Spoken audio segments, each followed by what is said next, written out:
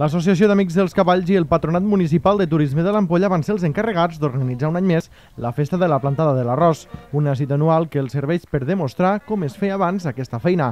Però més enllà d'això, és un reclam pel turisme? Sí, tant la Festa de la Plantada com la Sega estem observant els darrers anys des que també fem una promoció conjuntament amb el Patronat de Turisme de la Diputació, que és un reclam ja perquè hi ha molta gent que ve de fora i que vol tenir l'experiència i inclús ens demanen de poder entrar a plantar i veure també com se fa la Sega al mes de setembre.